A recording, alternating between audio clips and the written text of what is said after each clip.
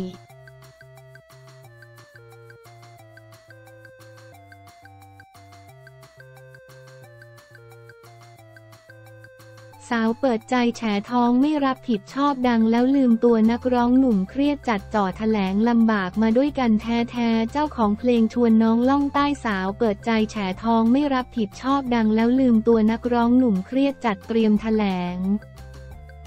เผยเรื่องที่ออกมาความจริงครึ่งเดียว จากกรณีมีหญิงสาวออกมาโพสต์ลงโซเชียล ตั้งท้องแล้วถูกนักร้องหนุ่มชื่อดังในภาคใต้ทอดทิ้ง โดยหญิงสาวยังได้มาร้องกับเพจโหนกระแสด้วย โดยบอกว่าเป็นนักร้องเจ้าของเพลงดัง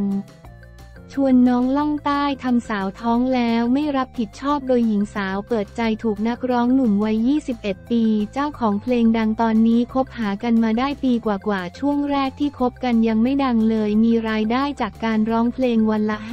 500จนหญิงสาวตั้งท้องได้สองเดือน มีค่ายเพลงมาชวนแฟนไปออกเพลงจนดังขึ้นมา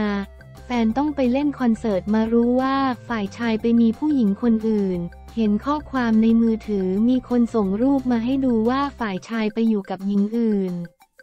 จากนั้นทะเลาะกันเรื่อยมา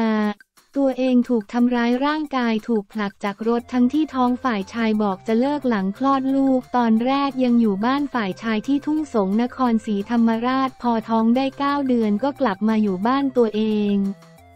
เพราะฝ่ายชายไปอยู่กับผู้หญิงอีกคนหนึ่ง วันคลอดลูกก็ขี่มอเตอร์ไซค์ไปคลอดลูกเองด้วย ฝ่ายชายมาเยี่ยมให้เงินมา10,000บาท แต่ไม่ยอมเซ็นรับรองบุตร เรียกค่าเสียหายไป150,000 บาท เรียกค่าเลี้ยงดูลูกเดือนละ หนึ่งหมื่นระหว่างตัวเองยังทำงานไม่ได้ แต่ฝ่ายชายไม่ยอมจ่ายอ้าง แต่ไม่มีเงินทั้งที่ร้องเพลงได้คืนละห้าพันลบหนึ่งหมื่นเสียใจตอนคบกันแรกแรกยังไม่ดังพอดังแล้วลืมตัวลืมคนที่ลำบากมาด้วยกันขอเรียกร้องความเป็นธรรมเรียกร้องสิทธิ์ให้ลูกทนายความเผยว่าได้ติดต่อฝ่ายชายให้มาดำเนินการเรื่องสิทธิต่างๆ ของเด็ก แต่ฝ่ายชายและญาติญาติเมินเฉยเลยต้องให้สังคม ช่วยเรียกให้ฝ่ายชายมารับผิดชอบเด็กที่เกิดมา ด้านพี่สาวของนักร้องหนุ่มเนตราเชนเผยว่าเนตก็ทราบเรื่องอยู่แล้วเครียดจัดเรื่องที่ออกมามีความจริงแค่ครึ่งเดียว โดยเนต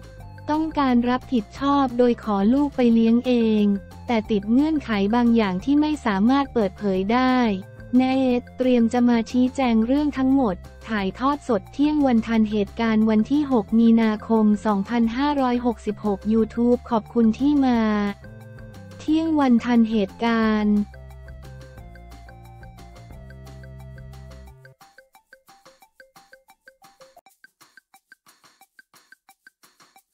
ออฟพงพัฒน์นั่งเครื่องส่วนตัวไปดูศึกแดงเดือดที่แอนฟิลด์ ขากลับหมดแรงขาไปสดใสเริงร่าขากลับถึงกับหมดแรงออฟพงพัฒน์นั่งเครื่องส่วนตัวบิน พร้อมคณะดูศึกแดงเดือดที่แอนฟิลด์หลังจากทีมแมนเชสเตอร์ ยูไนเต็ดบุกพ่ายลิเวอร์พูลคู่ปรับตลอดกาลแบบหมดรูป0ถึง7ในศึกพรีเมียร์ลีกอังกฤษนัด แดงเดือด เมื่อวันที่ 5 มีนาคม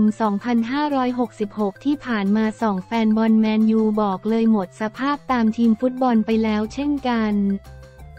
รวมทั้งคนบันเทิงแฟนแมนยูอย่างออฟพงพัฒน์อุตส่าห์บินไปดูศึกแดงเดือดถึงที่สนามแอนฟิลด์วันที่ 6 มีนาคม 2566 แดงธัญญาภรรยาออฟพงพัฒน์เผยภาพบอกเล่าเรื่องราวทุกอย่าง ขณะกำลังเดินทางพร้อมคณะนั่งเครื่องบินส่วนตัวไปบรรยากาศสุดเริงร่าของสามี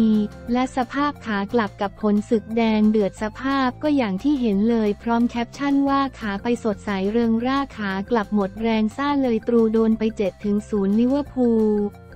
แมนยูไนเต็ดแอนฟิลด์งานนี้นกจริยาเข้ามาคอมเมนต์ตอกย้ำด้วยว่ารูปสุดท้ายบอกความหมายชัดเลยค่ะ ปิ่นนัทนันผู้จัดละครก็เข้ามาปลอบด้วยว่าออมขาไว้คราวหน้าเอาคืนสัก8ถึง0ก็พอด้านแฟนๆ ก็เข้ามาหมดแรงเช่นกันบ้างก็แซวกันรัวๆ อาทิ ภาพหลังสุดใดๆร็อกก็คือร็อกนะคะ หลับแบบชาวร็อก หมดแรงจริงๆ ค่ะ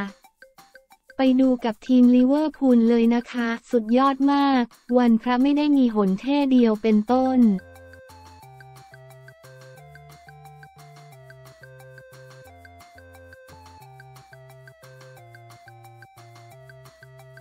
ณเดชถือเลิกดีทำบุญขึ้นบ้านใหม่แม่แก้วปลื้มจัดเต็มทุกขั้นตอน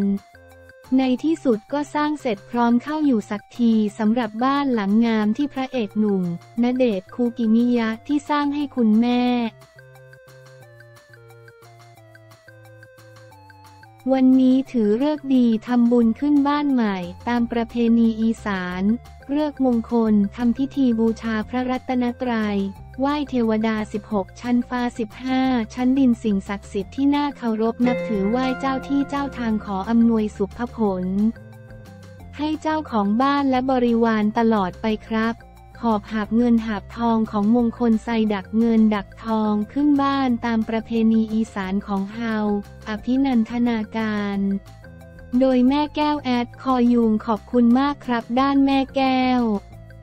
ก็ลงรูปบรรยากาศการทำบุญขึ้นบ้านใหม่รั่ว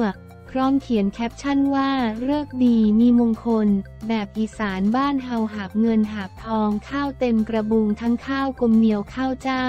น้ำกะเต็มตุ่มเงินเต็มถุงเต็มกระติบต้นอ้อยกล้ายเป็นเครือ ขนุนลูกใหญ่ที่สุด ฟักเขียวหักทอง ถั่วเขียวงา ขาวหอม กระเทียมเกลือล้นเหลือเฟือเต็มห้องลูกชายแม่หละที่น้องกับมือดีเป็นเดทสีแก่เจ้าเด้อครับ พ่อแอดกุกิมิยาสขอบคุณรูปจากไอจีแอดคอยุงแอดกุกิมิยาส